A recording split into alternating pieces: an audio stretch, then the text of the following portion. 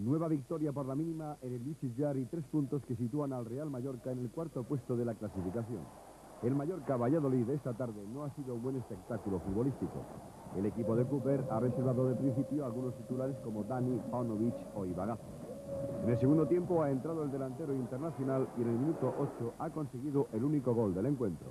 Una pelota en el área es siempre síntoma de peligro y más si está Dani. El 9 mallorquinista no ha desaprovechado la oportunidad y con la pierna izquierda ha enviado a la red de César. El Valladolid ha tenido su mejor opción en este remate de Klimovic, pero el Mallorca ha mantenido el tipo y ha llegado al final con el 1 a 0 en el marcador.